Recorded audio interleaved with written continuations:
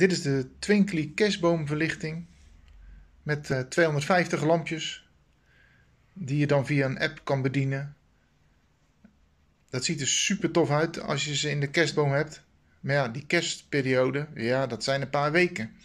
En wat doe je dan met je lampjes als de kerst voorbij is? Dan haal je ze uit de boom. Je boort een aantal gaatjes in een plankje.